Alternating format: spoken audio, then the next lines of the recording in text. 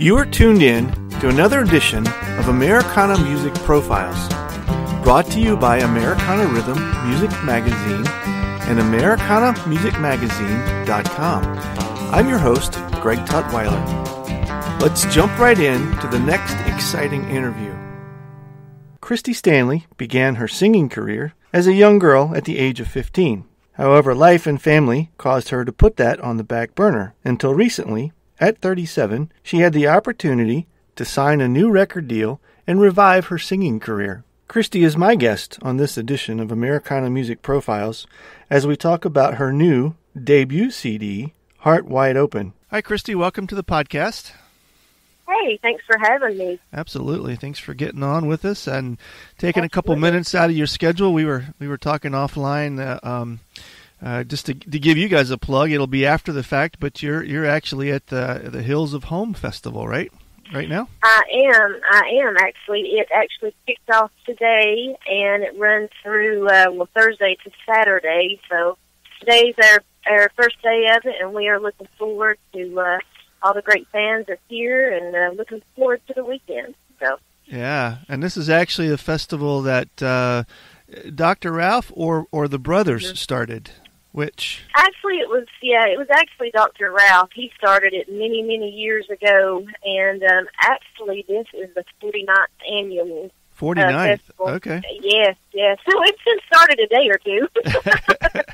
but, um, but yeah, yeah. So so Ralph the second and I was kind of well, Dr. Ralph handed it down to Ralph the second, and um, a few years back. So so he started uh, running that, and yeah, we just enjoyed it, and uh, we, we look forward to it every year. I want to invite everybody that's listening out to the 50th next year. Absolutely. It's on, uh, yeah, it's on every Memorial weekend. Okay. So whatever that weekend falls on, it will start the Thursday through the Saturday, and Great. next year will be a huge one. So for sure. To, yeah, and and everyone can go on Dr. Ralph. Um, drralphfamilyfestival.com and check all of the news out on that.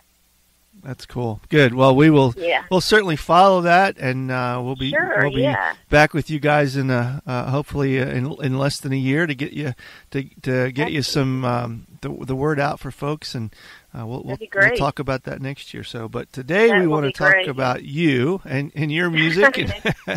um, okay. So, tell me. Um, I was reading over the the um, uh, the, the, bio that uh, uh, mm-hmm. Melanie Wilson sent over to us, and um, right. I, I, found a piece of the story uh, very interesting that, that you grew up listening and, and, and uh, enjoying Dolly Parton as a childhood yes. celebrity artist, and, and ended up getting to work yes. with her when you got older, right? Sure, I did, and you know I'm from Eastern Kentucky and Pikeville actually, so you know Dolly obviously wasn't from there, but a lot of great artists were from there. So I grew up in a, I guess, a place that's rich with wonderful music. Yeah. So, you know, country music was, I think, embedded into my heart, mind, and soul, you know, at a young age. yeah. So, you know, at a very, very young age, I discovered Dolly Parton, and my gosh, you know, she just, I don't know, her her voice did something to me, and mm-hmm. I have been a fan ever since. And I always joke and say I want to be her when I grow up.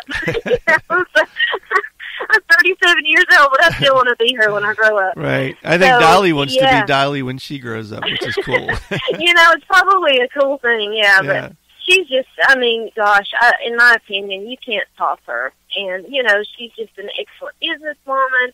She's an actress. She's a singer. She's, you know, she's everything that, you know, I think a lot of artists aspire to be, and sure. especially me. I just I look up to her so very much. And you mentioned, you know, that I did get to work with her. I did actually. Dr. Ralph um, did a record, and he actually asked me to be on it. It was a duet duet record at uh-huh. the time, and it was all women, uh, female artists with him. Um, Clinch Mountain Sweetheart was the title of that album, actually, and she happened to be on there as well. So I can I can say that my name actually is on the same record as Dolly Parton. Yeah, right. cool. Yeah, so I can die a happy person now, I suppose. so, how did it come to be that, that you were that you got yourself into the position to be invited to be on that? Well, actually, Ralph II and I were dating at the time. Okay. And I, I was very, very young. I probably was 16 or 17, was 16 or 17 years old at the time, I believe. And you can imagine, you know, like I said, Ralph and I had just started dating, kinda, and I really didn't know Dr. Ralph that well, so you can imagine how nervous I was. Sure. You know. Yeah. Um, and so they kind of, his mom, uh, Ralph II's mother, kind of asked me. She's like, you know, I know you sing. I really like what you do. I'm going to see if you can, you know, if Ralph will have you on the project. And so they did. They asked me to be on it, and I was so so honored. Yeah. So honored. Yeah. And you know, that's something I'll always have. You know, as long as I live, because as everyone probably knows, he's no longer us. And so that's you know that's that's a project that I treasure and will always treasure. Sure. How involved had you been in your music career at that point when when you were able to participate on that record? I actually um, started out with a country band. Um, I don't know how much you know about that, but I did. I started out with a country band when I was in high school. Mm-hmm. And I mean, we played all over the place. We opened for a lot of country acts like Billy Ray Cyrus, um, Kenny Chesney, people cool. like that. Yeah. So yeah, we got to do a lot of very cool things. And so during that time, I still had my band. So I was pretty active, you know, doing festivals, Sure, fairs, yeah. things like that. Yeah, yeah. When when did um, when did you make the switch to, to bluegrass? When did that become your your style? Well, I tell you what, I like I said, um, I had the country band when I was, you know, in high school, and so Ralph and I, Ralph the second and I, and I got married like a few years later, and you know we had two kids, so I, my music got put on the back burner. Mm-hmm. So I didn't, you know, I thought, you know, hey, I, I'm never going to play again. It was just something I had, you know, come to terms with. I was okay with it. But, you know, I miss it greatly. I think any artist, you know, if, if music's in your blood, you never fully can let Sure. it go. You know, yeah. And so I always pined for it. I always wanted to do it again. And um, I missed it greatly. And then the opportunity arose for me to be signed to a bluegrass label, a new bluegrass label that was opening up Uh huh. and they gave me the opportunity. And even with my country band, I mean, we did we did uh, uh, some bluegrass tunes in the band as well. So I mean, like I said, being from Eastern Kentucky, I mean, you know, that was in my roots as well. Yeah. So I've always loved it, always loved it, and it just, you know, the timing was right, and the opportunity came about, and you know, I did the project, and here we are. How long have you been back in music? I guess um, two and a half years. I Okay, so this is a fairly Um, recent thing for you then. Yeah, yeah, absolutely. Okay. Yeah, yeah, yeah. So you can imagine my excitement. You know, sure. uh, yeah. Yeah. I mean, not not doing it for you know several several years and missing it, like I said, greatly, and then having the opportunity to do it again. I'm just thrilled. I'm tickled to death, and I'm having the time of my life doing it. Yeah. Are, are you are you back into it uh, full time, or do you have other things you do still? Okay. Yeah. No, no, full time. It's my job. It's my you know number one priority besides my family. Sure. And um, yeah, I mean we're playing quite a bit and getting you know getting booked all over the place. We'll actually be in Texas in October, and um, going to be in Wisconsin coming up. So yeah, I mean we're playing playing quite a bit. Is the of course we want to talk about the the new record that um, uh, Heart Wide Open. That's is that the name of it, right? Yes. Yeah. Uh-huh. Is, is that your first, or did is this was there another one before this? No, this actually was my first. I had done demos and things like that, um, you know, that never really got out there to people. Uh-huh. But this is my first professional project that actually, you know, that I can, It's all you, you. know, give Uh-huh. to the public, sell to the public. Yeah, yeah. So, yeah, Mhm. I'm super excited about that. And is it out? When did it come out? It came out last May, actually. Okay. So this weekend, this weekend last year was the first time people got to see it. Okay. this is yeah, this is kind of a um, special weekend, you know, commemorating that as well. Now, are you working on a new one then? Is it is it? uh, I'm I'm getting ready to work on a new project. I sure am, Yeah. and I am so excited about that. Um, it's going to take a little bit different turn. okay. it's going to be totally different. It's going to be something that I can't talk a whole lot about it just yet, but Uh-huh. it's going to be a different style, Yeah. and um, and still hold true to what I've been doing as well. So I'm not leaving my fans or anything, but it's going to be a little bit different, and I think people's really going to enjoy it. Well, it feels like that that is a direction that that most uh, I shouldn't lump everybody into that, but a lot of bluegrass acts eventually explore, um, and I, I guess it is yeah. reflective of the changing times and the Mhm. changing tastes Sure. and the changing of the guard or whatever phrase you want to yeah. put in there. But you know, even Yeah. um, even the Gibson brothers uh, really took a hard Yeah. a hard right or hard left and uh, went and explored Yeah. some new things. And I I think they did a really good job with it, but it's not bluegrass, and so. Um, yeah, it- right, right. But uh, you know, I think it's also uh, reflective of your maturity as an artist, and so um, Mhm, that's mhm. that's neat that you get to do that.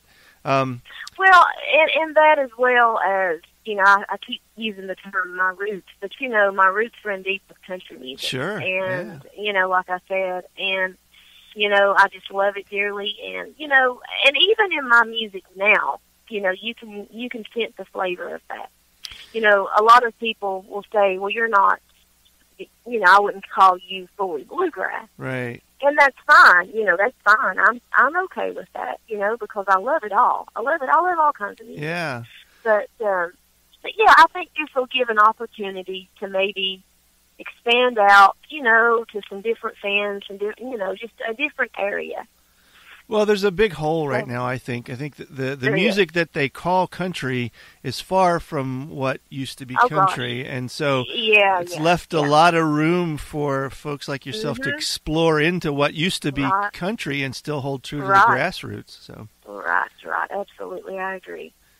Um, are, are you so you're on tour now? Uh, is this uh, um, more regional for you, or are you covering the whole United States with this record? We're covering the whole map. I mean, I'm looking to maybe go overseas. Hopefully, Melanie Wilson. I am with her booking and all that, and she's doing a wonderful job.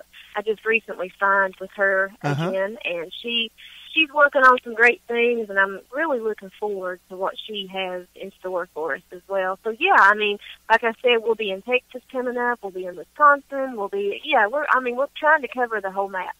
That is my goal. I, there's nothing I love any more than being on stage. That is Yeah. my happy spot. You know what I'm saying? so, Yeah, so I mean, I want to play as much as I possibly can, and as much as you know, as much as the fans will allow. yeah, yeah. That's cool. Are, are you writing some of your own songs too?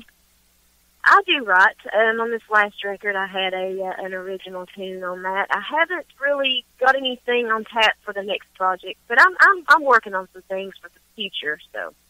So when you're putting together music for this last album and, and your new Mhm. project, how do you decide uh, what fits you? If you're not actually writing it yourself, how do you determine what material works for you and your voice and your band? You know, I a lot of people say, and I totally agree with it, that I kind of have a little more bluesy tone in my voice, Uh-huh. maybe something you know like that. And you know, I can hear a song, and I can automatically tell if that's something I can pull off or not. I don't know what that is. I don't know what you call that. Yeah, But when I hear it, when I hear the song, the demo, I can usually always tell, well, yeah, I can probably do that, or no, I can't, that doesn't fit me. And also, I have to do a song that, that speaks to me in a way. I can't, you know, because it's just not authentic. yeah, If you're trying to sing something that, that you can't relate to, or you just don't get or understand, then really the fans can pick up on that, I, I believe. yeah, And um, so, two things. You know, I feel like that when I hear it, if I, I, I al- automatically know that I can do it, or if I can't, and then I have to be able to relate to it on some some sort of level. yeah, yeah. When when you're out, do you get to tour with Ralph? Do your bands play together, or do you kind of have your own routing that you do? Yeah, we don't actually. We kind of go our own our own separate way. He goes one way, I go the other. Uh-huh. but it works out at the end of the day. You know, he's Yeah. got his fan base, and I'm working on mine. Yeah. So, yeah, I mean, at the end of the day, like here at, at this festival, actually, actually, my band played here last year, Uh-huh. and I told him this year, I said, you know, you know what? But just skip me and give another band a chance Yeah. You know, I don't want to hog my spot. You know, I know I know my position. you know, and um, I want to give someone else a chance. Yeah. So actually, I will probably get up and do a song